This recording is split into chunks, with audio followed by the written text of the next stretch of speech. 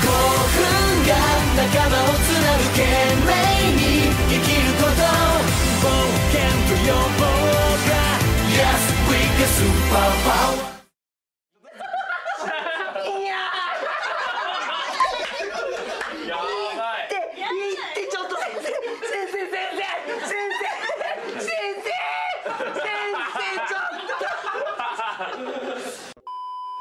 次僕ですかあーやべえ。いや やばいやばい。怖い。やだ。えー、あでも全然。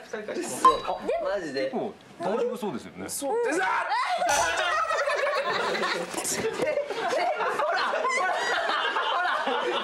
あのさもうこの座席全然意味ね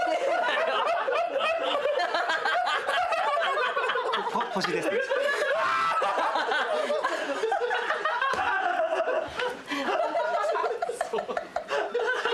いやいやなるってマジでもう片方の足もう片方の足いきましょうもう片方の。今日ねなんかね寝たりする気にしてみたいな親指の頭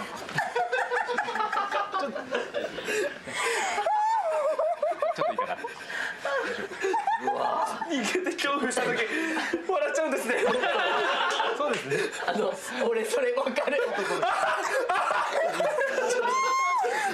って待って待ってあのねわわかるわかる先生先生ちょっと先生先生なよしあいやいやすっきりしたでしょ？すっきりした。温まりました。ねあもう汗が止まらないレベルで本当に。あったまあったまった。あ内臓なんか心なしか。さ酒がいない。いやこんなに激痛が走るんだったらちょっとやばいですけどでもなんかすごいポカポカしてくるのは本当ポカポカしてくるからちょっともう一回すっきりええ。もう一回やってもらいたいところはありますね。やってもらう？えいやいいです。今日はねちょっと温まっちゃったからもう今日はちょっと終わり。終わり。今日は終わり。いやでも本当にえ結構こういう風になんかわーわー言ったりとかする方も。普通のお店でもお客さんわーって盛り上がるような。あお友達同士で来たりすることもあるので。あそうなんですもうワイワイとやっていただいても。ーすごいですね足つぼじゃあまたしなよ。続けた方が一緒に。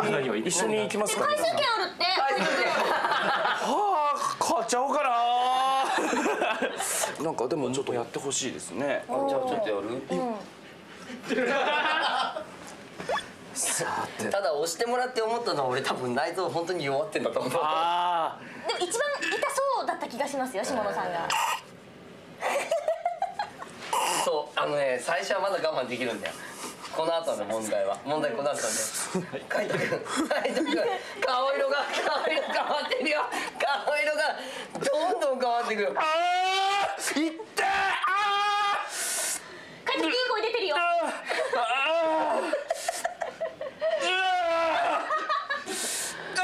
いや実にねこうなんていうのかな。い。ろいろね痛い部分もあったんですけれどもあのなかなかねこうすっきりする部分もあったんでねもう皆さんもぜひともですね本当あのドクターフットえおすすめでございますのでえぜひともねあのいらしてください。ね。よしじゃあ次行こうか。はい。あーだってストップストップストップ待って待って置いていかないで本当にお願いします。歩き疲れたら痛くて楽しい足つぼ体験